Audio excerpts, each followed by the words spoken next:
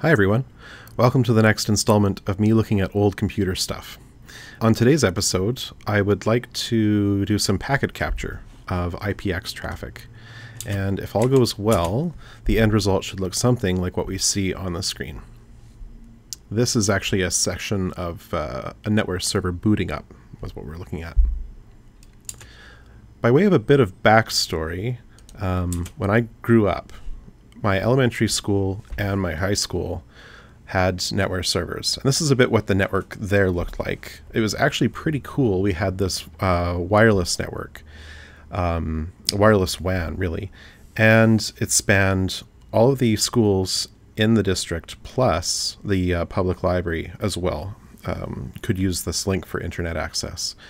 So this is a simplification. I don't know if the network ever exactly looked like this, but for our purposes, this is close enough.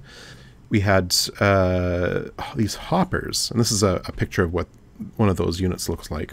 Um, basically, these are uh, Wi-Fi bridges. This is um, relatively early technology. I think these came out sometime in around 97, 98, something like that. And we connected uh, all of the uh, the schools up. At the time, I, I was working at the public library, um, helping them set up their internet, getting their internet presence going, and so we were able to use um, this technology to do that. There was a uh, at, at, the highest point in town. There was basically this omni antenna, and kind of the the base station. We also had directional antennas at each one of the uh, kind of remote sites and uh, that's what comprised the uh, the uh, wireless network. Um, internet came from the high school, which was, funnily enough, not the central um, node of this wireless network. And um, this was a, a, mixed IP and IPX and possibly a little AppleTalk network. Um, so the story goes I was looking at Wireshark the other day and I was realizing, you know, I always look at Wireshark and you know, I always see the same thing. It's Ethernet 2, it's IP traffic, or maybe IPv6 is like the most exotic thing I see nowadays. And I just kind of felt a bit nostalgic and thought, wouldn't it be nice if I could actually see some of the IPX traffic? I probably did some captures at the time when I was working at the library, um, but I also feel like I was probably not old or mature enough to figure out, you know, how interesting that could have been in the future to have had those captures or you know I, I didn't save anything from those days so unfortunately I have to recreate it from scratch now but that's all right because that's kind of fun. And that's what I'm going to do today. Um, in order to do that I needed to first uh, figure out how to get virtual machines to talk on my Mac. Originally, I wanted to use uh, VirtualBox or VMware Fusion, which I already have on the system, but uh, decided that because I've been using QEMU a lot, I should try to get that going and learn a bit about its networking. Because from that point, I had just done uh, effectively the user mode network out to the internet, and I'd never had um, two QEMU VMs talk to each other. So that's what I wanted to do this is basically a simplified diagram of, of what I hope to set up. We've got a NetWare server. Um, we've got a Wireshark uh, host, which is probably going to be either a VM or maybe the host system. We'll see. And then we have uh, an MS-DOS client. I could have used anything for the client. I could have used a Mac, honestly, or I could have used a, a Windows box. But anyway, for me, MS-DOS was the classic thing. That's what we were using, um, you know, when I started in elementary school with this stuff. So I thought let's let's go old school. Let's do it with uh, with just DOS. Here are the different ways that I found that you could um, use uh, QEMU to, to connect uh, two different VMs. So there's uh, a user mode, which is basically just straight out to the internet. You can have a connection with the host as well um, or any other machine on your local network, of course, but um, you couldn't have VMs talk to each other. There is a tap interface, which basically allows you to create um, a, a, bridge and connect VMs to it. I, I did try this, couldn't get it working, gave up. Um, the VDE switch, um, yeah, as it turns out, this is the thing that that really worked Um, it was super easy to set up. Um, you can configure it to be a hub with just one extra argument on the command line, and uh, it, it just worked really well. I also tried multicast UDP, which this looked really slick. I, I really wanted this to work, but I just couldn't make it go. Um, and then Unicast, which is cool and worked, but would only let me um, have two guests. And the problem with that, of course, is, I, you know, I probably needed three. Um, the NetWare box, the MS DOS client, plus uh, this Wireshark, which it, it, turns out in the end was going to be a VM. So I, I, really couldn't use this unicast method. Okay, so let's look at uh, these in a little bit more depth. Um, the user mode one, the problem with this one, as you can see, is that every guest gets the same IP address. So obviously they're they're not going to talk to each other. I don't think anything but IP works, so IPX is right out. Um, you know, this is really meant as just a quick and dirty way of getting these uh, VMs on the internet.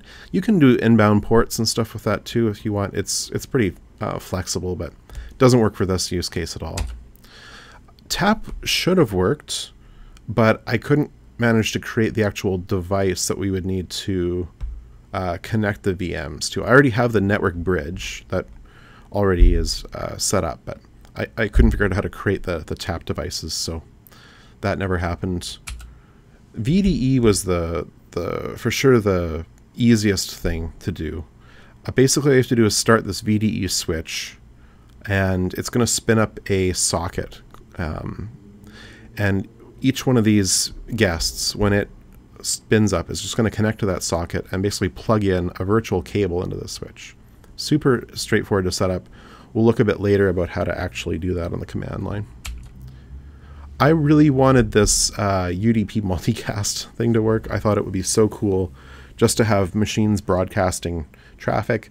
Obviously, if this were in real live production, this would probably not be optimal because you might have um, multicast traffic that you would want to protect. But um, anyway, for a small test, I thought this would be really neat. But I could never get it to actually do the uh, multicast broadcast. It always said that it was working, but I never could see the traffic on the host or on any of the other guests. Works great, um, but really it's meant for two VMs. You can't have a whole bunch of them. I, I needed at least three, and this just wasn't going to work out. But I did try it out with two Linux boxes, and it, it did work exactly as advertised. So if you are only connecting a couple of boxes, this would be a great way to, to do it um, to avoid having to spin up a, a VDE switch, even though that's only like a one line command. So I'm going to embark on a series of tests. The first test is to just get any um, IPX traffic captured at all. Um, we'll keep it really simple and just have a uh, one server, one client type setup with a Linux box listening. The next thing I want to try is a bit of IPX routing. So ideally, I would like to have uh, two networks on one NetWare server, um, or I should say two NICs, and have clients on either side of that, and see if they can communicate um, with each other without knowing necessarily how that routing is working. And then in the third test, uh, we'd like to have two clients and two NetWare servers, and basically have them uh, distant from each other so that um, we can see whether or not traffic will flow from client to server to server to client. Um, in the very end, I would actually like to try this with a well-known uh, piece of client software, which you will see later. Right, so let's try the very first test, which is just to get any IPX traffic captured, essentially.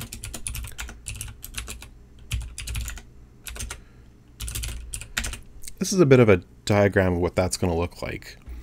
Um, the central part of this is the VDE hub, and this is how all of these VMs are going to talk to each other. Um, before doing anything with the NetWare or the DOS side, I'm going to work on these two Linux boxes, and the idea is really just to get them to um, communicate via this VDE hub, because it's going to be way easier to troubleshoot that if that's not working. Um, it's there's a lot more tools available to figure out what's going on. Um, with these two, um, obviously, you know, Wireshark, um, it's going to be very difficult on on something like that. So we'll start with uh, two Linux boxes. Um, once we get the Linux things communicating, um, fire up a NetWare server, and um, got a couple of things we need to talk about, um, being that we're doing this virtualized, and uh, same thing for DOS. So, um, like one fix up we have to do to the the network client there. Right. So for the VDE side, I wrote this little um, VDE launcher script. Basically, what it does is it throws VDE in the background and it uses tmux to do that.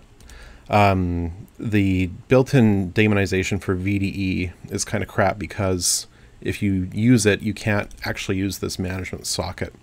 So you can't do things like inspect to see what ports are being used or even shut the thing down cleanly. So I prefer to uh, to use tmux to background it. You, you could also try ampersand. I didn't have any luck with that because VDE wanted to uh, accept keyboard input. So again, I don't really know why they did that, but um, this, this is the cleanest way I could come up with. Okay, so if we launch that, and um, it is a hub. I know it says switch everywhere, but I use the dash X switch um, to uh, to make it a hub. And I think there is a way to to actually see that, but uh, you'll just have to trust me for a minute. um,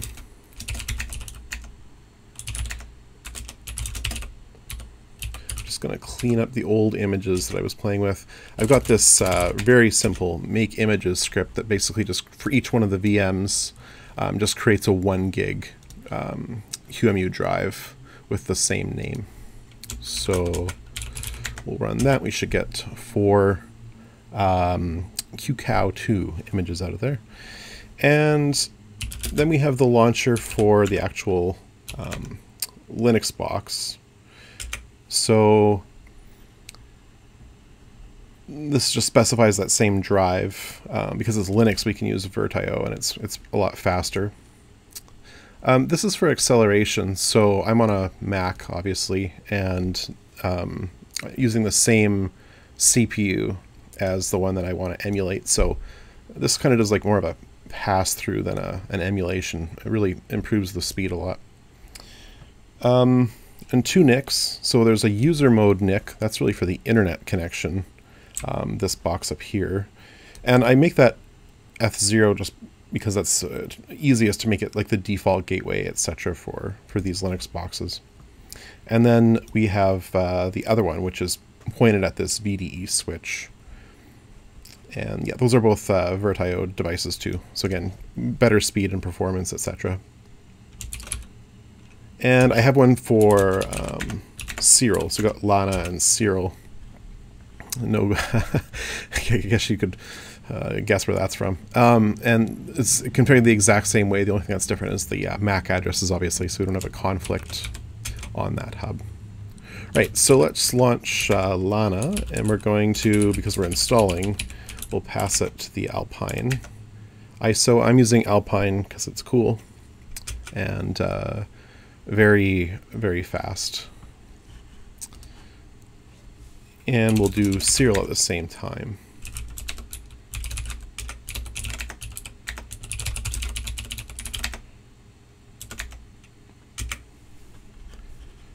And it's kind of annoying. Um, QEMU does this thing where every time the window changes resolution or you change virtual consoles, um, it's always throwing the uh, the window back in the center of the screen. Drives me completely crazy.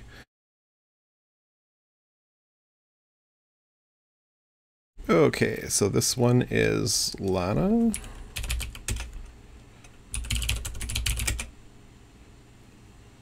Super simple setup. I'm just going to um, make F0 the uh, DHCP for the user mode. I'm not going to configure any other interface because I don't want it to have IP addresses, etc. for any later testing. We'll do that temporarily, but um, just with manual commands.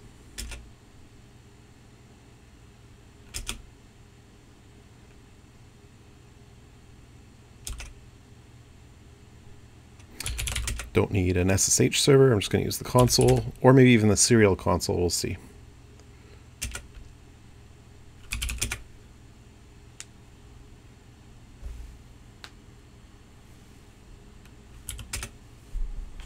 All right, and we can get Cyril started while that one's going.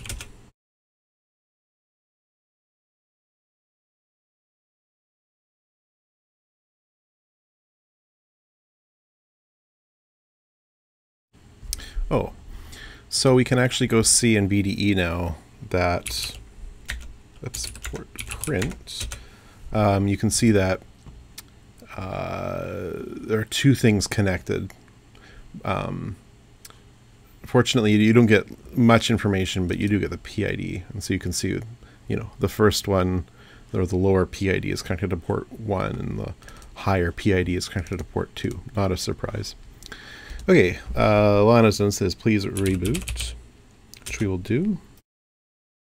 And I'm actually going to add uh, no mode set here, just so we don't have resolution changes.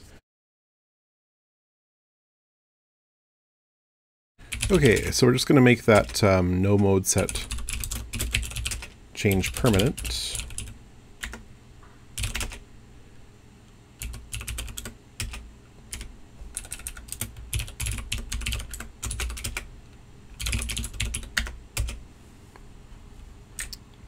and ditto here on Cyril.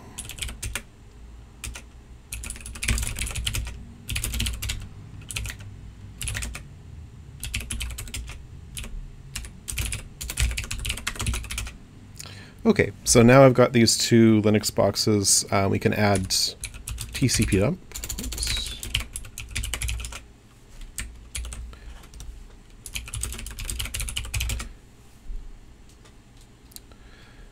and we can uh, config manually the um, ETH1 port. I'll just put the diagram back up here so we remember what we're doing. Um,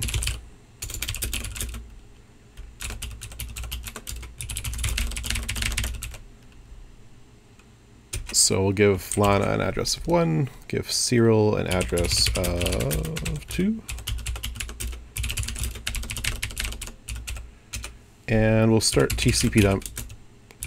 Um, that actually ought to do it. Oh, that's not going to work, obviously. Right, so there are pings, and you can actually see even the ARP request that came in just before that. So that's very cool. That's all working just as we would expect. Obviously, I've done this test before I started recording this video. This didn't happen the first try. Um, uh, actually, for VDE it did because VDE works really well, but for the other networking modes I tried, it, it, it didn't always work. So, um, okay, well we only need one of these Linux boxes to do the TCP dumps, so I'm actually going to power off uh, Cyril. We're going to use it later anyway, though, but run uh, one last VM. Okay, now we need to install a uh, NetWare server. So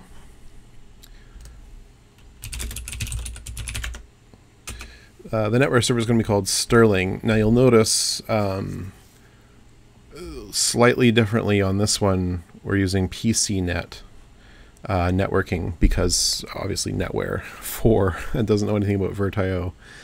And um, aside from that, it's pretty much the same. The, the drive also is using a standard interface instead of VirtIO. So that's really the only change in that launch script. Okay, so um, we need to uh, provide a floppy disk.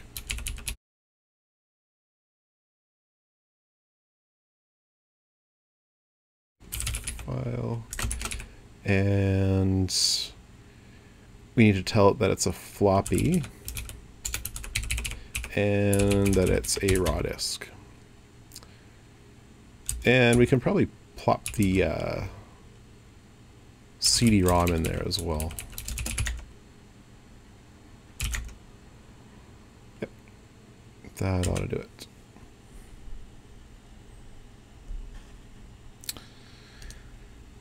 So, most important thing with uh, installing NetWare, you need a DOS partition. Uh, it doesn't have to be MS-DOS, could be DR-DOS, um, PC-DOS, whatever. Um, it hardly uses the DOS partition. Needs to be um, fairly small. You want to leave space um, on the rest of the disk for the actual NetWare volumes. So I'm not going to run setup at this time. Um, I'm going to do an F disk and I'm going to create a partition. Now here you must say no. And what we want to do is create, I think they say 50 megs in the doc. I usually make, uh, make it 80 megs. And great. Uh, and we can set that one active. I think the installer actually does this for you if you don't do it. But anyway, so that'll reboot. Oh, now it wants to boot from the hard drive. So that's uh, that's uh, no bueno. So we'll have to tell it to boot from the floppy.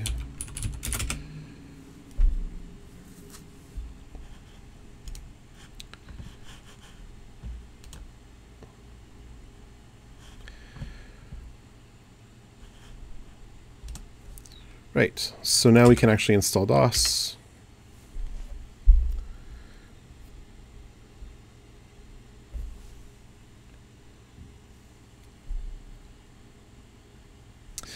Now I'm going to start TCP dump on uh, Lana. Whoops. And the reason I'm going to do that is because uh, NetWare actually starts doing IPX stuff pretty early on. It's kind of interesting. Um, and so I kind of want to see how early in the install process that happens. Now, if we don't say not IP6, you get all that um, silly broadcast traffic. In fact, I should probably uh, deconfigure that uh, that NIC. Uh, actually, this thing can just reboot while we're while we're uh, doing this. Okay, so wonder if anybody installs DOS into something other than CDOS. Whether that's ever something people do. Now, this is being virtualized on a, like, I was going to say fairly powerful Mac, but really it's kind of an old Mac now, uh, 2013 model. But you can imagine how long stuff like this would have taken in the day proper. Uh, okay, so we'll change over to the console and we'll put in uh, floppy disk number two. This, there's uh, three floppies um, to install this thing. And raw. Okay, so there's disk two. I'm just hitting uh, Control Alt 2, by the way, there to get to the uh, QEMU screen, and then Control Alt 1 to get back. Okay, so fire up TCP dump. Uh,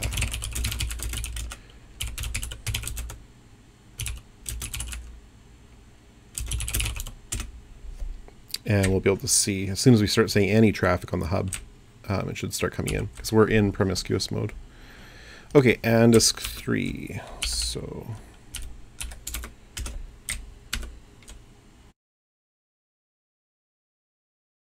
Okay, remove disks from floppy drives.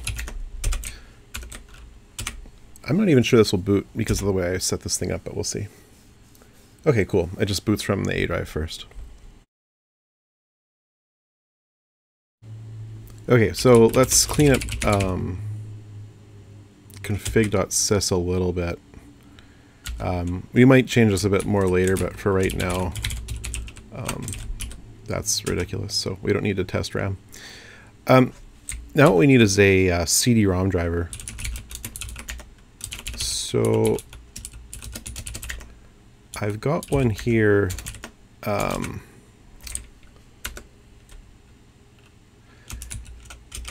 There is a, uh, a graphical installer. I don't know how to put it in uh, text mode. And this it doesn't support whatever VGA stuff is, but you can still um, basically pretend and, and just hit the buttons. So if you hit install, um, it's just going to seem like it's hanging there, but actually there's a graphical user interface um, that it's displaying. So right now it's asking for where do you want to install it to? I think it's like C colon wax CD-ROM. So you just hit enter. Okay, now it's installing the stuff, and of course it's just copying files. Um, so you just hum the Jeopardy theme song or whatever, and uh, as soon as you think it might be done, you just hit enter again. And if you guessed right, whoops, maybe I didn't guess right. Yeah, so that didn't that didn't quite work, or I didn't let it let it go long enough. Um, we got a CD-ROM directory. Didn't really finish copying. I was not not patient enough. And we'll do install. So at this point, it should be firing up the um, the UI. I'm just going to hit enter and hope that it's copying. This is where like a display like box has would be really nice where you could actually see the hard drive lights blinking and you know have some confidence when it was finished doing whatever it, it needs to do. Okay, hopefully that was enough time this time.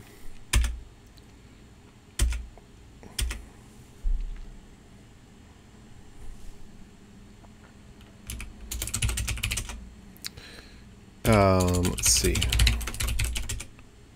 Yep, that looks like that should have worked. Okay, so if we reboot now. Oh, I got to eject that floppy.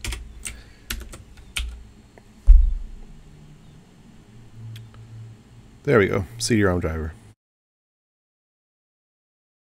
Cool, got a D drive.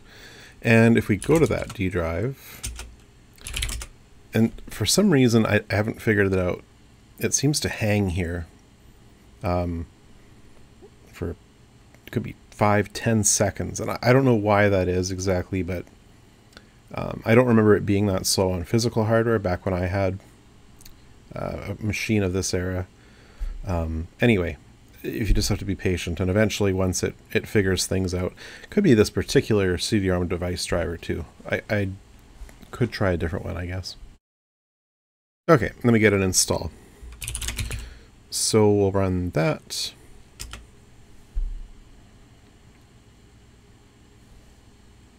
And welcome to NetWare Setup. I'm not going to read this license stock because this company isn't even around anymore.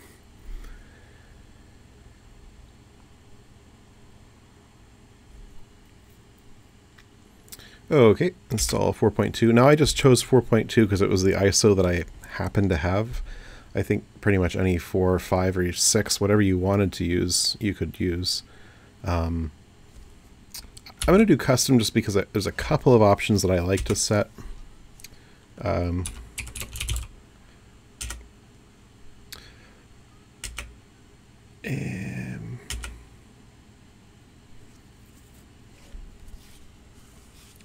Right, so this might take a little time. While this is going on, we can actually get the uh, MS-DOS client going as well.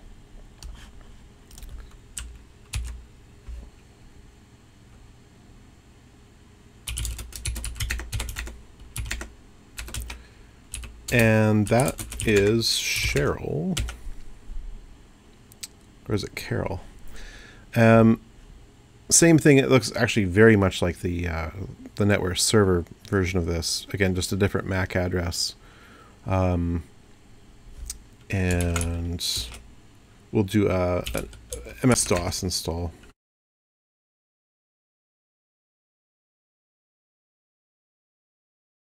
Okay, this time we can just go through the regular DOS setup and let it chew up the whole drive.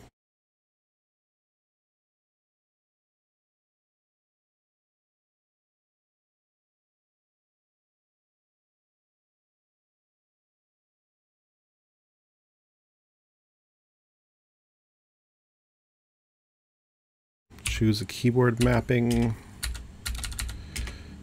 And do I want to modify any special commands? Not at this time, thanks.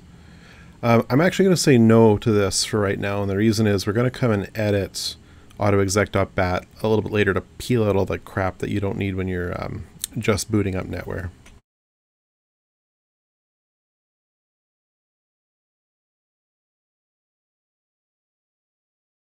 The NetWare installer, you'll notice, seems to have just sort of sat there for a long time at this one screen. And I've only ever had it blow through the screen properly uh, twice. Um, seems like every other time I've done this, um, it hasn't worked. It, it hasn't been able to actually continue the install. So it looks like this time is no exception. And there is a fix for this. And it's pretty straightforward actually.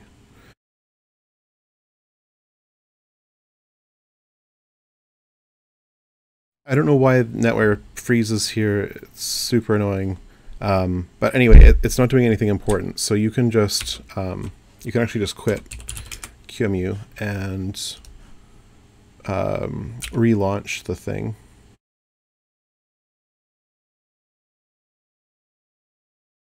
Okay, we got ourselves a D drive. That's cool. Um,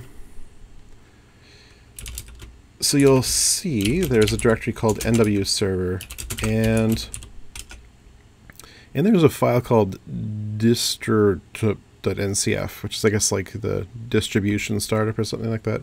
Anyway, you can copy that to startup.ncf and then you can run server and the install process will just carry on like nothing ever happened. And this is what is actually supposed to happen automatically, but for whatever reason doesn't. Uh, we also need to get um, a CD-ROM driver into Shell.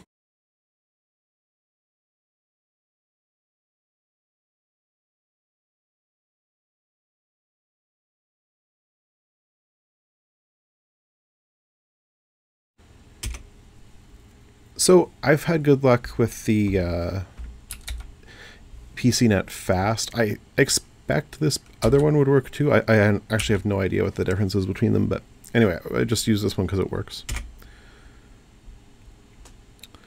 And that looks okay. You know, normally here you would maybe install SCSI drivers or whatever else. This is a very simple um, PC, probably a lot more minimal than most NetWare servers would have been in that era.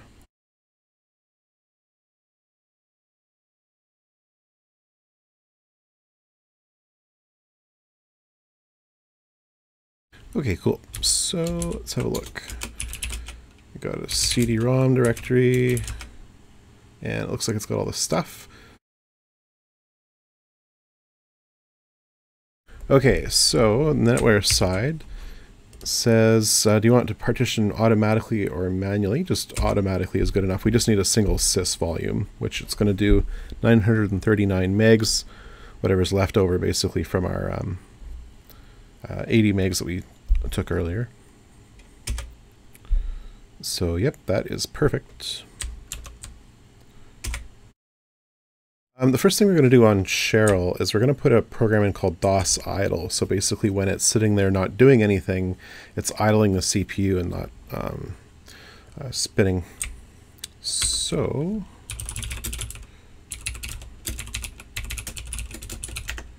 should be one called DOS idle. Yep, cool. So yeah, so we'll just um, and we'll just copy the stuff there.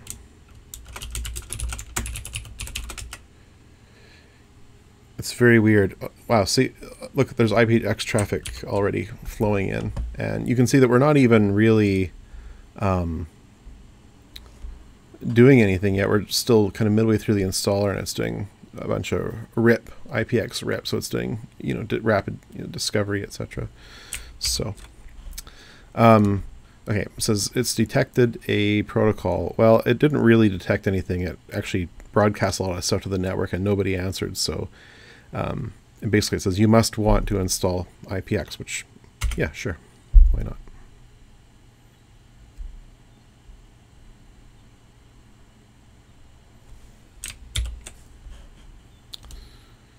Okay, and then back over here, we will uh,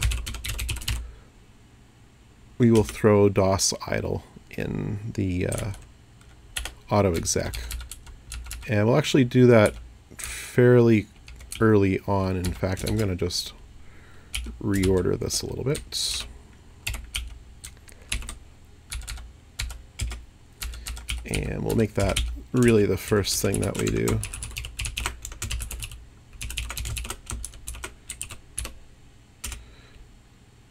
Okay, and we'll just start it right now. There, perfect.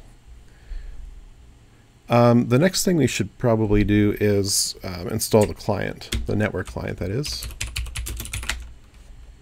So that's an ISO. Uh,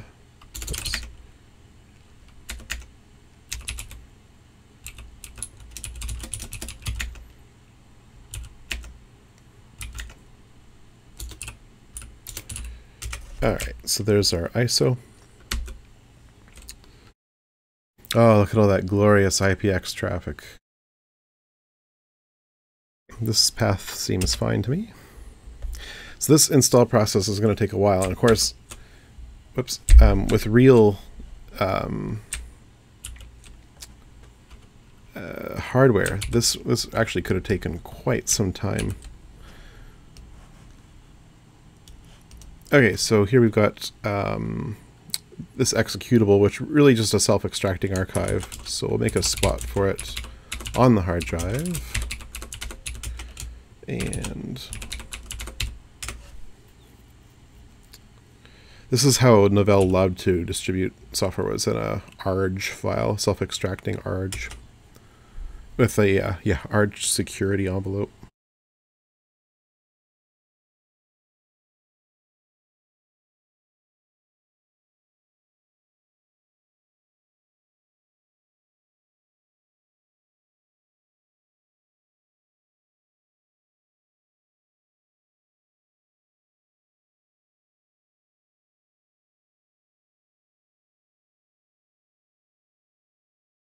Alright, so that's the extract of the client done. And we can just run install on that.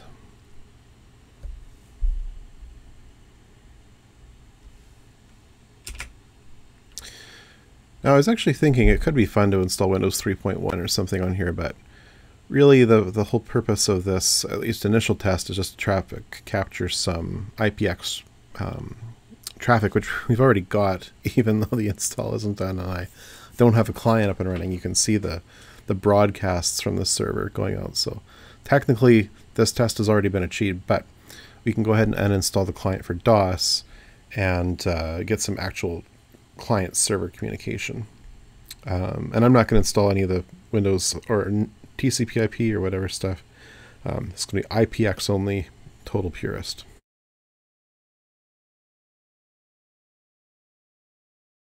Same um, network card as on the server side. And it asks some weird questions here, and I unknown parameter and like activate magic. I, you know, who knows, right? So just say F10, save and continue. Um, yeah, and I'm going to let it go ahead and modify config.sys and auto accept up. That's fine. I'm actually going to flip back to uh, um, Lana for a moment. I want to capture the uh, the client starting up and save it to disk. So I'm going to add a W. Um, what we call this? We'll just say I think test one dot uh, pcap. Sure. Okay, you must reboot. That's nice. Um, before we do that, there is another fix up we need to do. Um,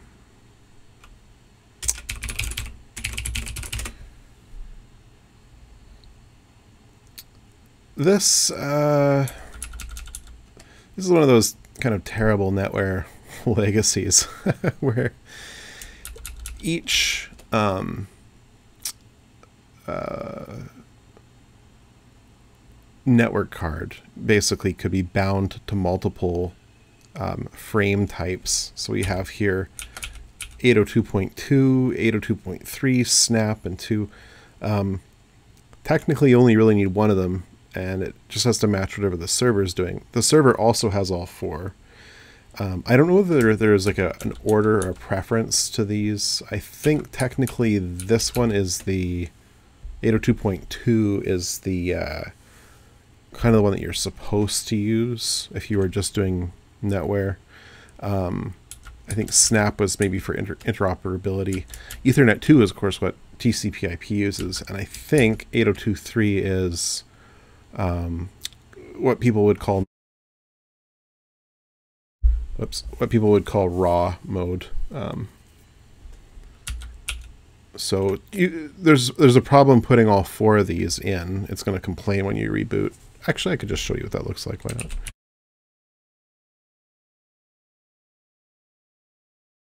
Actually, we do. It's asking because we have just loaded a the 802.2 net frame type, and now it says, well, why are you doing another one? Do you do you want to do it on a different board or, or previously loaded one? So actually, we're just going to say yes to these three. So this is the error you get. I don't know why they didn't just um, fix that in the installer, but anyway. Let's uh, grab the editor and we'll all you have to do to fix this is uh, add slot equals and then the, the slot number which you can grab out of the uh, the log so we'll we'll go ahead and we'll bind it all four ways why not and okay is this the first NetWare 4 server well as a matter of fact it is enter name for this directory tree Archer obviously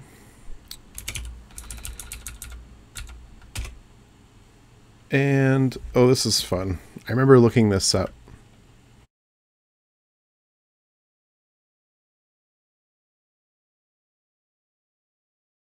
It's actually the second Sunday in March.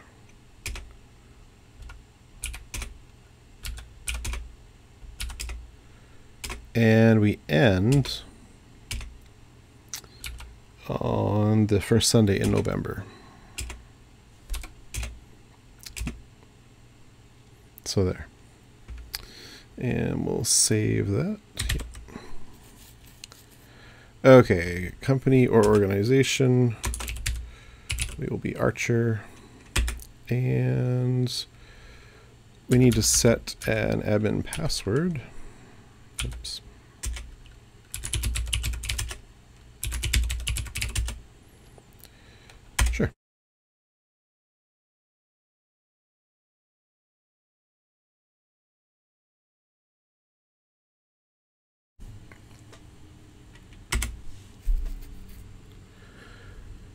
Okay, now this is one of the sadnesses of old school NetWare.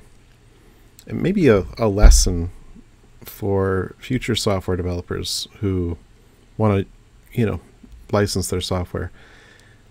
I don't know if you can really find a uh, a license for this thing anywhere. Um, and even if you do get a license floppy, from what I remember, there was some kind of an activation process um, maybe there are floppies that didn't require that, and you could go find that out. Um, but yeah, these are things people are hawking on eBay. It's quite a pain in the butt, really. Um, so I don't have one, and it's going to complain that the server is unlicensed. I'm not going to be able to connect very many things to it.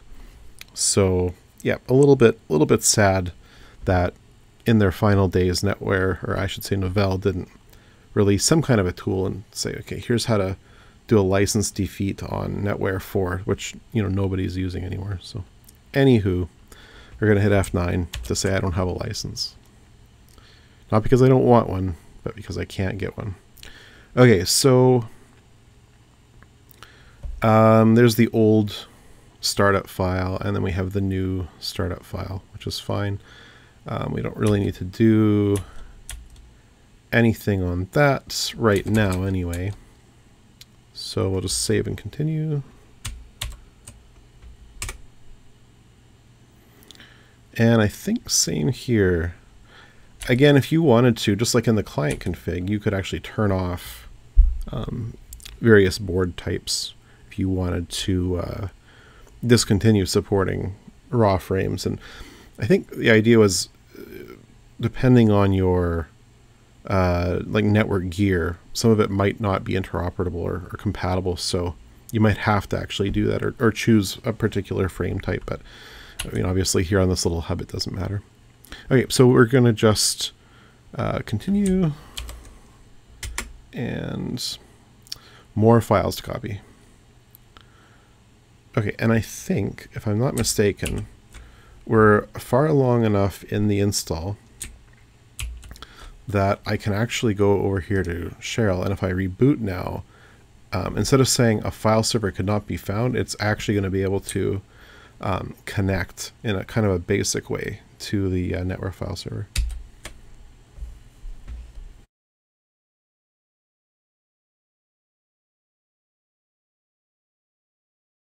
Cool. Yeah, so it says attached to server Sterling. So it obviously got far enough in that it can actually do that. Now, assuming that's true, we should be able to go like this. And rather amazingly, this is all working while the installer is running. So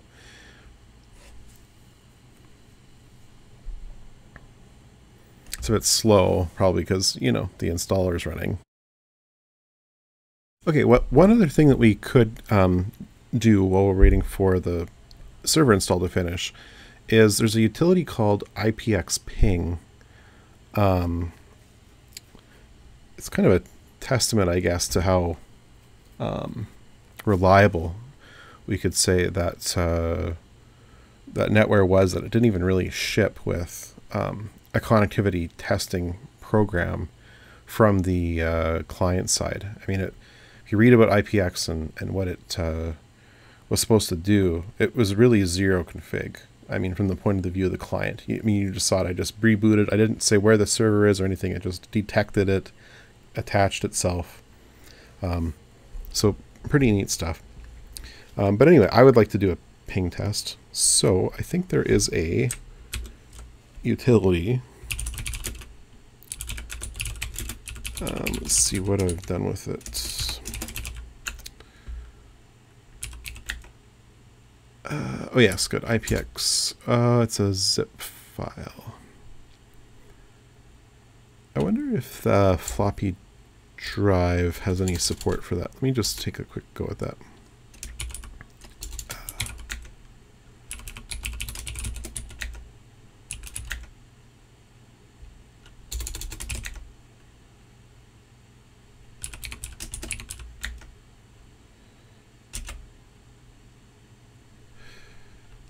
Uh, let's see. No, it just detected as raw.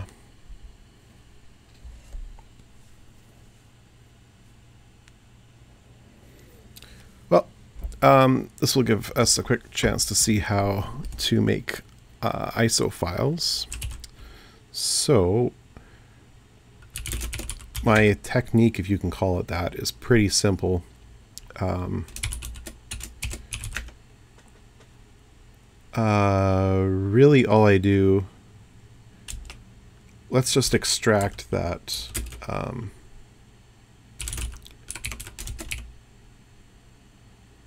Uh, let's see. Yeah, okay, cool. We'll just extract that. Um,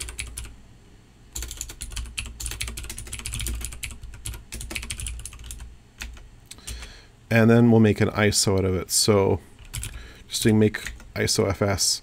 I've seen a lot of people put, you know, a bunch of extensions, Rock Ridge, Joliet, blah, blah, blah. I, from what I've seen, it doesn't really matter. You can just do something really simple like this. Uh, and boom, there's your there's your ISO.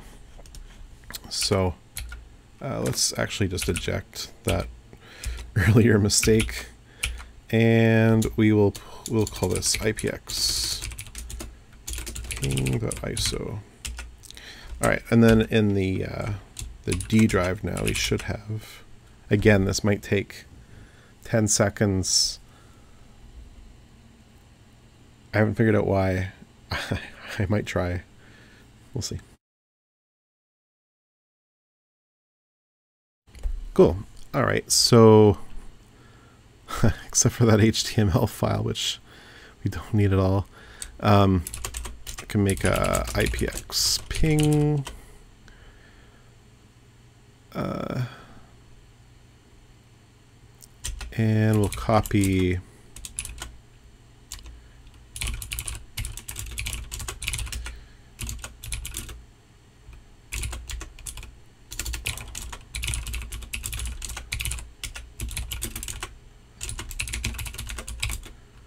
all of the relevant files into that directory. Okay, so if we do IPX ping, um, oh, this is actually not the right one. This is the, uh, this is the third party one. Whoops, let me see if I can find, oh yes, I remember. Uh, okay, slightly different thing we need to get. I'm just really killing time here until the NetWare install is all done anyway. Um, let's see. Uh, right. This NWC 202 has the Novell official IPX ping. So we need to change the disk to that. And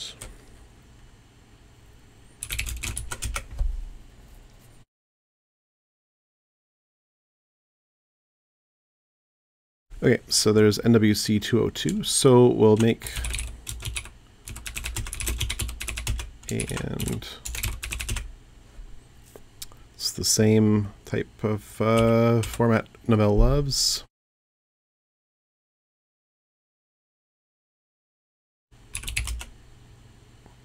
So there's, uh, I think in disk two, yep. So there's these kind of uh, compressed files and you can extract them with an extractor in the disk 5 directory. So uh, actually, you know what we'll do?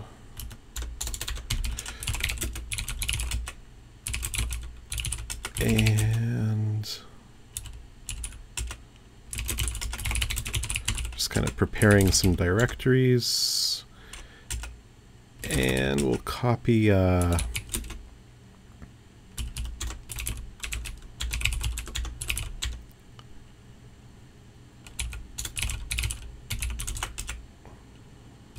Okay, and then we'll do, actually we'll do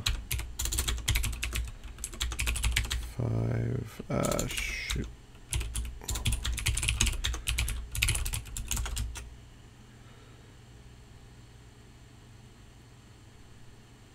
Oh, I think there's a bin in there, yep.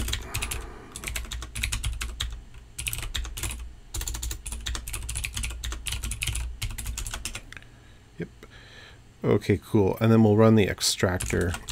Uh, I think this is it. Yep, cool. And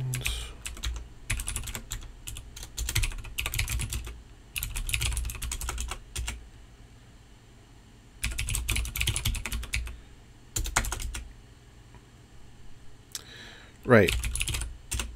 Okay, yeah, this is the official Novell one. Not to be confused with IPX underscore ping, which is uh, this uh, third-party one by a company called Magma Concepts. Molten hot magma. Anyway, um, so the official one. Um, now, it, it's very um, tricky the way that it's worded this. It says, is the internal network address of the server to ping. And that word is actually really important. Um, server meaning it's going to ping node number one, which is a server address, not just any random uh, client.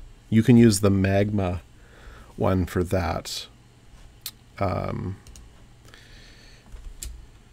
so we need to find the server address. Now, you might be wondering what which one of these numbers is that? Well, I'm so glad you asked.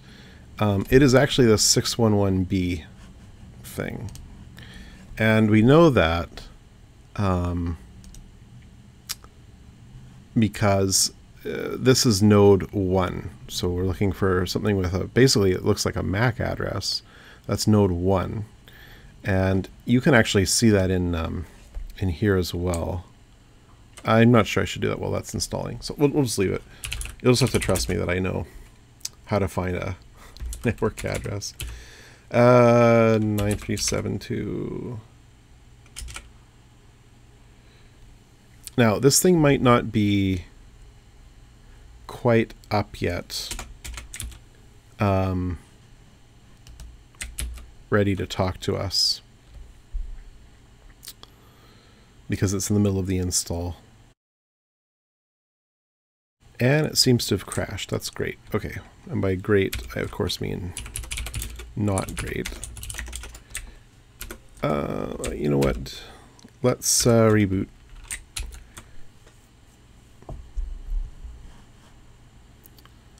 I feel like I did have this problem once before, and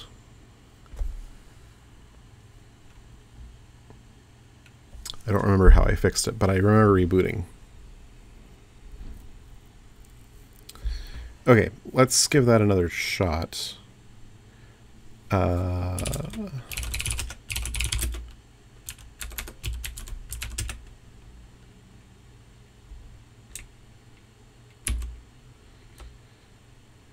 yeah, that didn't really work. Maybe I better make sure I've got the right address.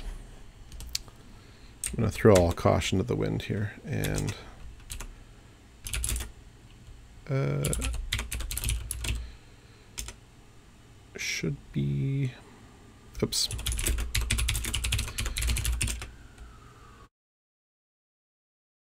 Uh, 611B9372. Yep, that is the one for sure. And didn't work. Uh, we will just wait until the install is done. It, might, it may be just that it's not too happy about that. But what, what you're looking for here, what you want to ping is IPX internal net. So the temptation might be to use one of these other net equals ones, but no, none of those work. You want to use uh, use this guy. So anyway, that's fine. Um, this server is just a little busy right now. So we'll let it do its thing.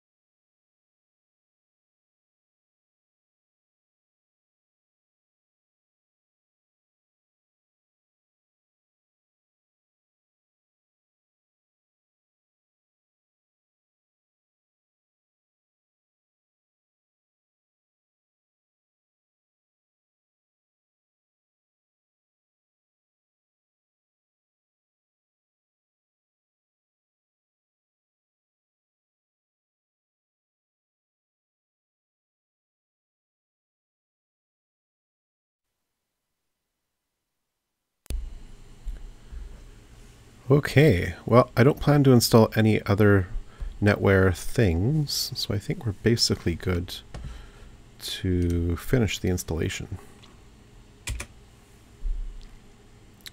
Okay, it is recommended that you reboot the server after exiting the installation.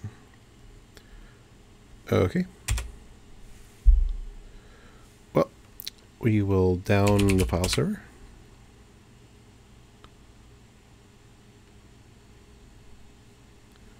And I'm actually going to also stop this DOS box.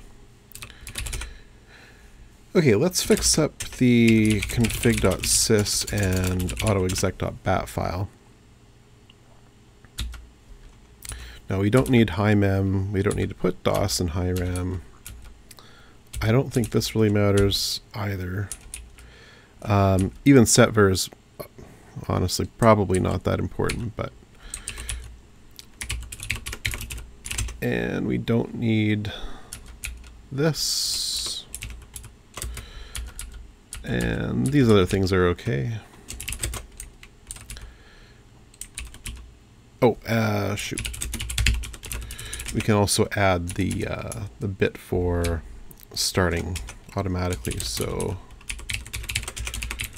and that's how you do that.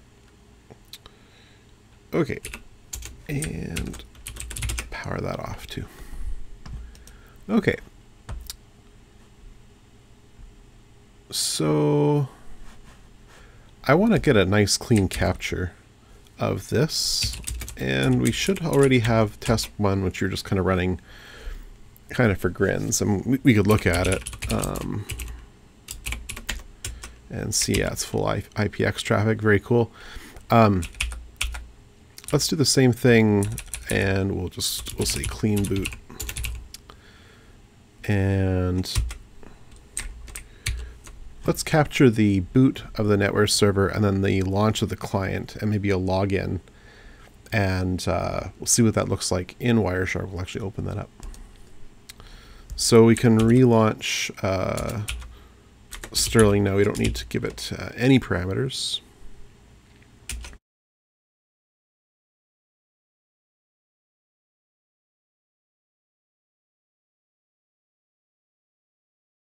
Okay, that's basically the boot. Um, and then we can do the same thing for our DOS client.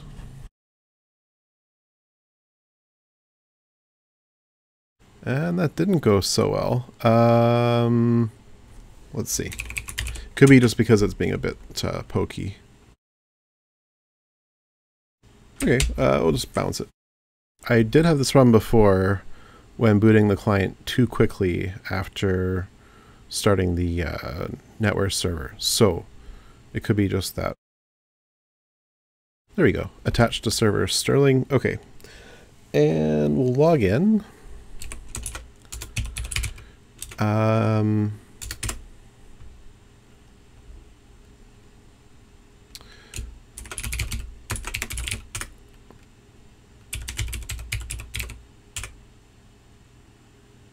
okay, that was the login. So I'm going to go ahead and stop the capture now. And we'll take a look at that a little bit later. Um, just like we put the DOS idle on the DOS box, we need one for NetWare as well, because otherwise the um, NetWare box is going to chew up a whole load of CPU. So there is a, uh, whoops, this is actually the CD-ROM.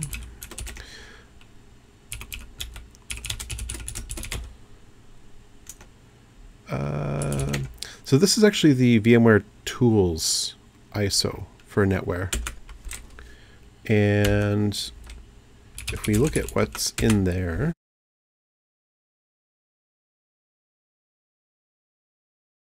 there is an installer, but we're not going to use it because we don't actually writing VMware. This is QEMU. But we can snag this NW4 idle um, NLM and we will actually just copy it right into the system directory. And then we can go into the NetWare console and we can load that.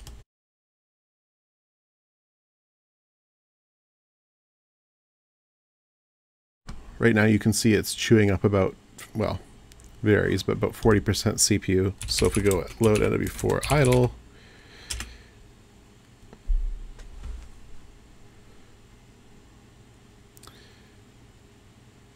you can see it's dropped, um, plummeted really from the 40 or whatever percent down to say 9 or so percent. That's really going to help out with the overall system load. Okay, so we had tried before to do a ping and um, I think maybe I'll capture that as well. We'll just call this ping.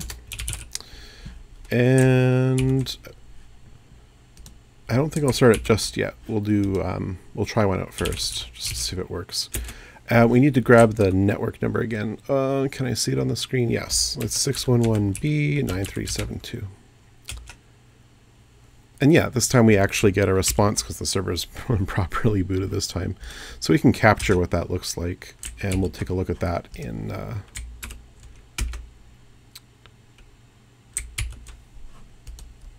Wireshark 2. Okay, so um, that concludes the testing, basically. Everything seems to have worked okay. Not surprising, because I tried this all before I recorded it.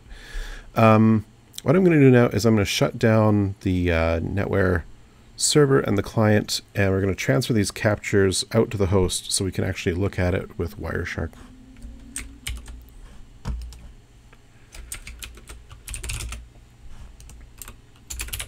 Whoops. Oh, uh, before I do that, we will put the um,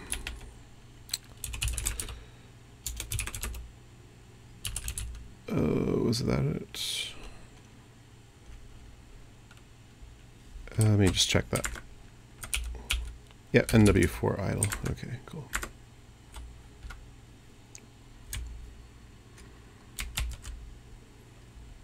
Oops. That way it'll load I had a reboot. Okay, so I think I should be able to SCP these to my host. Uh,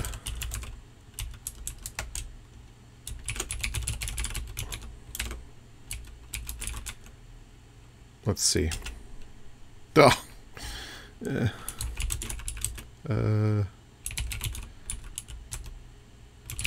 This is what it is in Ubuntu. I don't know. Okay, good. That was uh, that was good. Good guess. Um,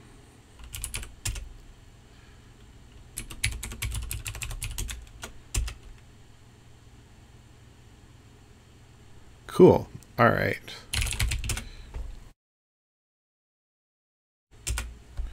Launch Wireshark.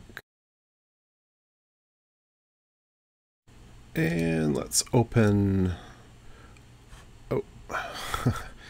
yes, I should do that. Right, let's open uh, these files. And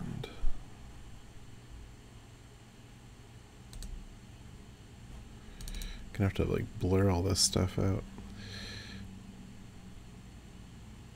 Uh, let's see. What are we looking for?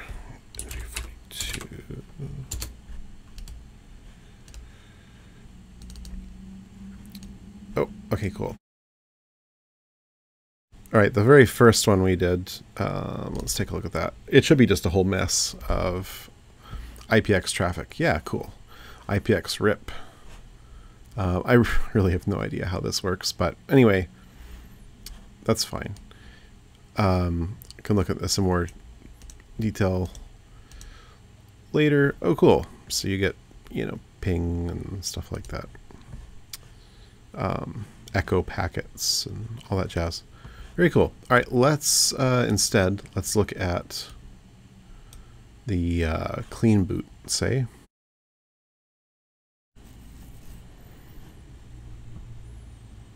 Cool. Yeah, so it's doing hellos, um, I don't know what a link services protocol is or any of that jazz. Um, this is this is definitely working, and I think NLSP is the uh, yeah the kind of the new um, routing stuff. Uh, if we go to the very end, we can see stuff like it me logging in and I'm, I'm in public. You know, I'm running login.exe, so basically this file should um, contain all of login.exe, or at least enough of it to, to load to run. Um, so that's that's pretty cool. Um, it's interesting to see you know Wireshark um, handle this stuff. Anyway, um, briefly, let's look at the ping.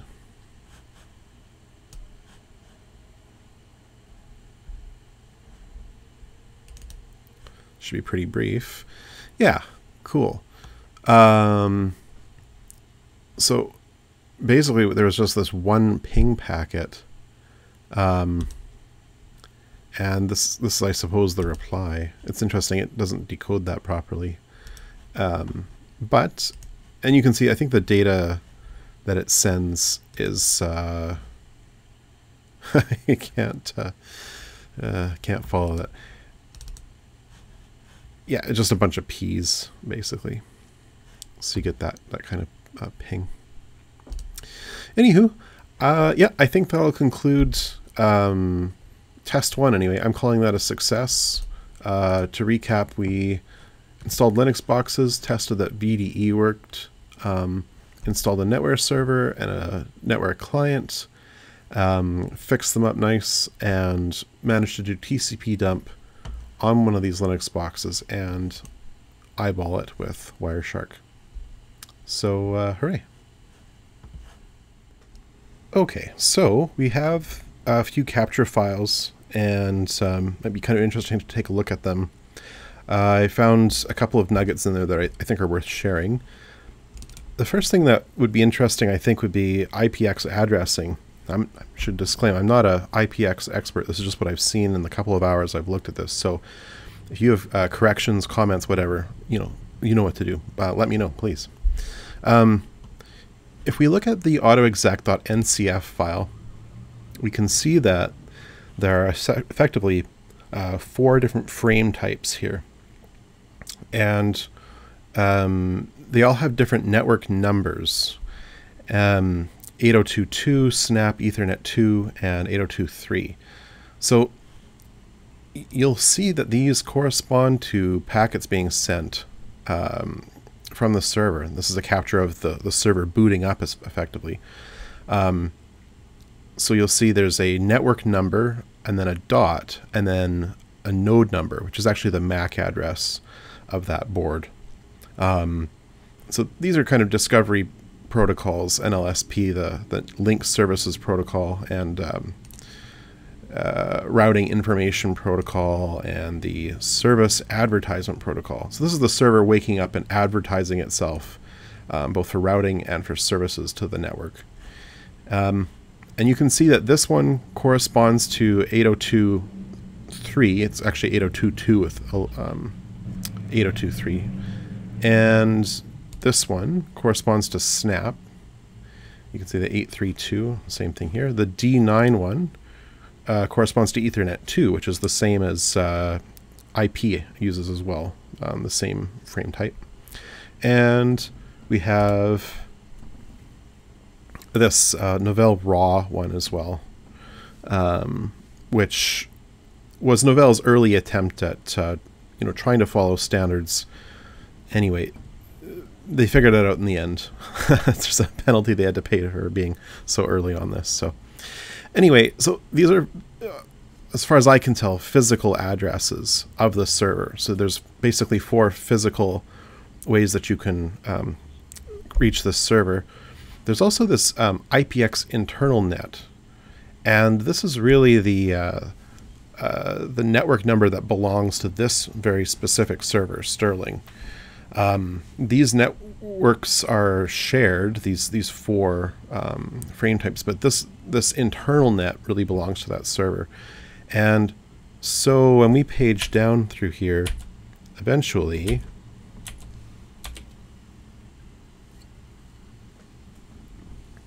Eventually, we'll come to a um,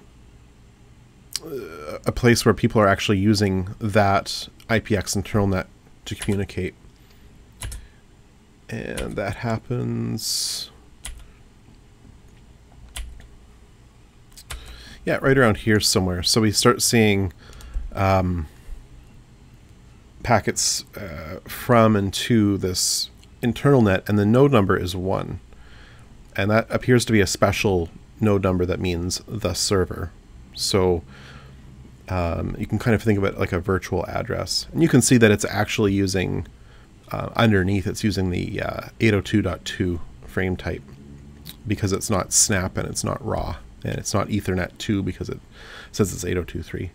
So it, it seems to have chosen the first um, binding. And I'm not sure if that's just because it uh, cares what order they're in or like I don't know how that part works. But yeah, so that's addressing. And the, the client, you can see here, has the same network number um, as the, uh, the frame, particular frame of that board, but it's got its own MAC address, obviously. It's, it's um, 0100, and the server is actually just all zeros. That's just what I assigned it in the, uh, in the particular launch file. Right, so one interesting thing would be you could see what files the client attempted to access. Um,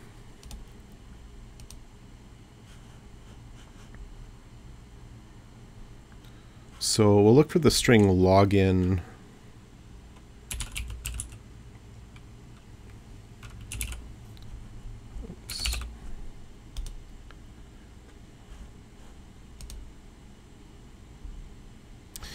So you can see that um, you know, this is part of the, the client trying to log in. So it actually is looking for a file called login.nb, which stands for no banner, apparently. I was looking this up. And uh, I found this, this old knowledge base article from 1996 um, where it talks about um, other files that login.exe uses. One of them is login.nb, to prevent the Novell banner from displaying. Okay. And apparently there's also a login.txt, which you can use to display a, a, greeting message. So you want some of your own text to appear at the login, you know, like welcome to Acme widgets or whatever. You could have it do that. And so you can see the, uh, the client actually requesting these two files from the uh, public directory. And here's here's looking for login.txt. Of course, it doesn't exist. I didn't create any of these, so and and they're not standard. Uh, the other thing that's kind of funny, uh, let's see if we can find it. Uh,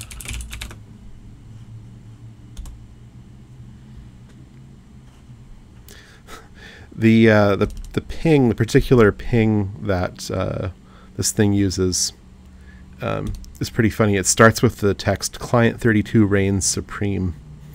so I guess these the Client 32 developers had a pretty high opinion of the Client 32. Um, just the other little thing I'll look at is that ping. And here you can see basically from start to end the whole thing. So um, it starts effectively right here. The client does a, uh, a RIP request and you can see what it's looking for. It's It basically wants to know where the server is. And then the server sends a, a, response from its physical address back to the client. And you can see that this was a broadcast message because it's all F's for the uh, node number. And it says, oh, it's over here. Um, you know, here's here's where the uh, the uh, server may be found. And so then it it go ahead and, and sends it on that network as and then the ping request, which I think is just a bunch of P's. Yeah, you can define whatever ping um, data you want, but this is what you get by default. And then a, the response back, which is just the same data effectively back. So these four packets uh, effectively make up the, the ping. So, yep, that's it.